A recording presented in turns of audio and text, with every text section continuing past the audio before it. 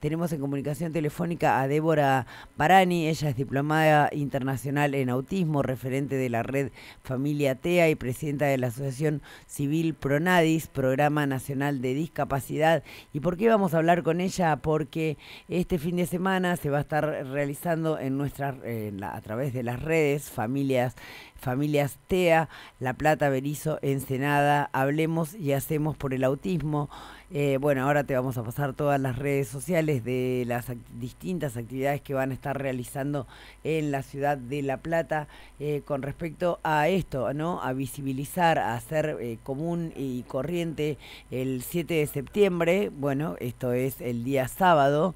las familias TEA van a estar con el apoyo de UPCN, de la Municipalidad de La Plata, de IOMA, de eh, de mm, la eh, de bueno de, de, la capital de bueno nada de distintas organizaciones sociales esto de visibilizar todo lo todo lo que tiene que ver con el trastorno del espectro autista. Pero quien mejor nos puede explicar sobre las actividades que se van a estar haciendo desde eh, jornadas integrales de detección temprana de autismo sobre viste porque el autismo no yo me enteré hace poco y Débora va a saber desasnarme mucho más que el autismo no es una enfermedad que se diagnostica solamente cuando uno es pequeño, sino que el, el, autismo se puede diagnosticar cuando uno es adulto. Hola Débora, ¿cómo te va? Bienvenida. Vero Sarasola es mi nombre, ¿cómo te va? Un gusto tenerte de nuevo al aire. Hola Vero, ¿cómo estás? Hola, hola a todos, ¿cómo andan? Y nosotros bien, bueno, queriendo que nos cuentes un poco las actividades que se van a estar desarrollando en el transcurso del fin de semana, bueno, a partir de, del 7 y de, bueno, el 7, Así es, bro. Así es, el 7 de septiembre es el Día del Autismo a nivel provincial y como vos bien decías recién cuando me estabas presentando, lo, lo importante que es el tema del diagnóstico, ¿no? Esto que vos comentabas de que hay muchos diagnósticos en la etapa adulta. Si bien es un diagnóstico tardío, el lema de esta jornada es eh, una jornada de detección temprana, porque bueno, a partir de los 18 meses empiezan a haber señales de alerta y si bien no es una enfermedad, porque el autismo no es una enfermedad, es un trastorno del neurodesarrollo genético, teniendo una detección temprana se puede modificar. ¿Qué quiere decir esto? Que teniendo las herramientas adecuadas desde la niñez, se puede empezar a trabajar para ir modificando un poco el autismo. No quiere decir que se cure, pero sí teniendo las herramientas adecuadas. Es mucho más complejo cuando tenemos un diagnóstico en una edad adulta, como nos ha pasado en otros momentos de otras jornadas, muchos diagnósticos de entre los 50 y 69 años, mujeres y hombres diagnosticados erróneamente y que estaban dentro del espectro y que pasaron toda su vida sin saber qué era lo que estaba pasando, medicados y demás. Yo que bueno, eh, a la vida se hace bastante complejo y no saber qué me está pasando cuando hay un diagnóstico. Llegar al diagnóstico es una es una es una parte muy difícil porque tenemos dos opciones, tenemos a través de los organismos de gobierno que hoy lamentablemente están colapsados los hospitales públicos y hay una alta demanda para poder llegar a esos diagnósticos, te estoy hablando de seis meses, un año, y la otra opción es a través del test A2, que es arancelado y ese TS está arriba de los 250 mil pesos. Entonces, en conjunto con la Municipalidad de La Plata, con el Ministerio de Desarrollo, Ministerio de Transporte y Ministerio de Salud de la provincia de Buenos Aires, junto a otras secretarías de la municipalidad y el licenciado Jorge Avelleira, que es quien va a llevar adelante estos diagnósticos, especialista en autismo, se van a hacer estos diagnósticos de manera gratuita, ya sea para adolescentes y niños, pero en el caso que aparezca un adulto también se va a llevar adelante. Es demasiado importante dar a conocer esto porque lamentablemente muchos no tienen la posibilidad de poder acceder a ese diagnóstico y bueno, y no tienen las herramientas para poder seguir avanzando y poder ser insertados en esta sociedad como se debe ante sus derechos. No, sobre todo porque, eh, nada, yo, eh, una cosa es un niño autista, pero ese niño autista el día de mañana va a ser un adulto autista y tiene que conocer su diagnóstico para poder tener independencia en su vida. Un adulto y un adolescente, no, no hoy lamentablemente, Vero, el 70% de los adolescentes con autismo no están terminando la escolaridad y ellos necesitan, también tienen derecho a estudiar, pero ¿por qué? Ante la falta de las herramientas y el desconocimiento de saber qué es lo que me está pasando. Entonces es indispensable trabajar, hablar, visibilizar, llevar informaciones y que bueno, y tengan su diagnóstico para saber cómo, cómo tratarlo, ¿no? ¿Dónde se va a realizar esta actualización sobre autismo, este, este tercer congreso provincial sobre autismo, Débora? El tercer congreso se va a hacer el día 14 en el anexo de la Cámara de Diputados. Es un congreso donde va a estar eh, llevado adelante por diferentes profesionales y experiencias en primera persona desde la familia y personas que están dentro del autismo. Esto es el 14. No, va a ser este sábado, sino el próximo. O sea no, este sábado lo que tenemos es la jornada en la República de los Niños de detección temprana, que va a haber, están de, de CUD, por ejemplo, para las familias que no tienen el CUD, están de pases libres multimodal junto al Ministerio de Transporte, va a estar salud, eh, colocándole a las mamás eh, anticonceptivos en parches y chips. Bueno, después va a estar IOMA, va a haber eh, actividades recreativas, Defensoría del Pueblo, va a haber varias actividades en, contexto de salud. Bueno, entonces te, van a estar realizando los diagnósticos. Bueno, te vamos a estar llamando entonces la semana que viene también bueno. te vamos a llamar, desde ya yo me comprometo para llamarte la semana que viene para recordar todas las actividades que se van a hacer a partir del 7 con el Congreso, el perdóname, el 14 a las 13 horas, eh, la acreditación es a las 11 de la mañana en 53 entre 8 y 9 en el anexo de la Cámara de Diputados, así que la semana que viene te voy a estar llamando sobre eso. Ahora hablemos sobre lo de que se va a hacer este fin de semana en la República de los Niños. Lo vamos a hacer mañana el, perdón, soy perdida, el 7, el sábado 7, por el Día del Autismo a nivel provincial, que se conmemora también el 7, una jornada integral de detección temprana donde se van a detectar, se van a hacer diagnósticos de manera libre y gratuita para todos los que tengan y piensen que su niño, niña, adolescente o adulto está eh, con sospecha de TEA. Y también va a haber diferentes dispositivos desde otros organismos asesorando sobre eh, CUD, pase libre multimodal, bueno, vacunación, va a estar idioma, odontopediatría, va a haber actividades recreativas para todas las edades, obras de teatro, va a ser una jornada para, va a estar lindo, así que los invitamos a todos para que vengan con sus mates, sus reposeras y nada, y se sumen porque es importante concientizar y visibilizar la importancia de la detección temprana en el autismo. No, y un, un, a mí no me gusta decir la enfermedad, ¿no? Un trastorno que... No, igual no es eh, una enfermedad. Por eso mismo, no es una enfermedad, pero es, es un trastorno que de tan poco, tan poco se habla y tampoco diagnóstico, por lo menos a mi, a mi criterio, y discúlpame la ignorancia, ¿no? Te hablo desde la más absoluta ignorancia, eh, que, debería ser tema mucho más de campañas nacionales, de campañas provinciales, de campañas municipales, que el gobierno y que el Estado sea quien, quien fomente todo esto para que los niños y las niñas y los adultos y los adolescentes eh, puedan hacerse controles para saber si padecen o no un trastorno del espectro autista. Claro, más que nada para las familias, dar a conocer las señales de alerta. Pero ¿sabes qué pasa, Vero?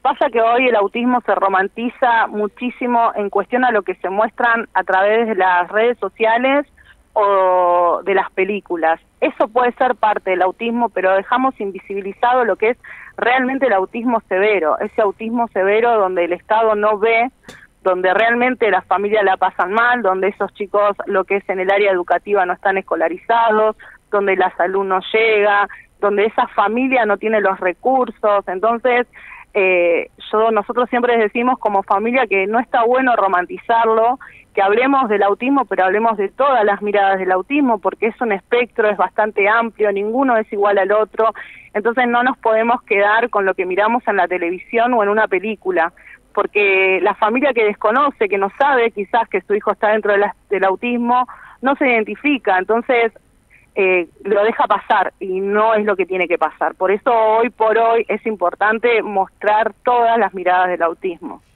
No, y sobre todo teniendo en cuenta eh, encontrar profesionales que se dediquen exclusivamente a esto, ¿no? Porque viste que por ahí, eh, sin desmerecer a ningún profesional, por supuesto, pero hay eh, determinados médicos o médicas que por ahí no es su rama o su especialidad, entonces que sepan derivarte a dónde puedas ir a consultar. Me parece a mí, ¿no? Nosotros lo que siempre decimos es aquella mamá, que el papá, que la abuela, que el amigo, que ve, que, que presiente, que sabe, el único que puede diagnosticar el autismo es un psiquiatra especializado en neurodesarrollo o un neurólogo. No un psicólogo, no un psiquiatra sin estar especializado, no un pediatra. Las señales están, las señales existen a partir de los 18 meses, eh, que no se queden con la duda pero que vayan a un neurólogo o a un psiquiatra especializado en neurodesarrollo, que son ellos quienes realmente le van a decir si están o no están dentro de un diagnóstico de TEA. Eso es importante saberlo, porque a veces pasa que pasan mucho tiempo y muchos años bajo el psicoanálisis y no es por ahí. No, no, claramente. ¿Cuál es el, eh, a ver, me imagino que depende el distinto trastorno de mm, no sé muy bien cómo explicarlo con palabras, pero el distinto trastorno del espectro autista debe llevar algún tipo de medicación en particular, algún tipo de tratamiento en especial. El autismo es uno solo. El autismo es uno solo. Depende eh, las características que tenga la persona. ¿Viste cuando a veces te dicen es un autismo leve, es un autismo severo, es un autismo agudo? En realidad no es que el autismo es más es peor que el otro. Lo que es severo es el equipo, el tratamiento que tiene que llevar. Un autismo severo, cuando hablamos de un autismo severo, ese niño por ahí necesita ser medicado, necesita usar pañales, necesita un equipo interdisciplinario mucho más complejo que un autismo, por así decirlo, leve, que quizás ese autismo leve sí se puede insertar en la sociedad, sí necesita herramientas, no quiere decir que no, pero no necesita eh, tantos tantos médicos, tantos tratamientos, ¿se entiende? Entonces, eh, eso es importante también decirlo. Por eso nosotros siempre decimos, hay que mostrar todas las miradas. El autismo severo, el que mal llamado severo, es el que hoy por hoy no se muestra y es el que hoy por hoy necesita que el Estado eh, responda.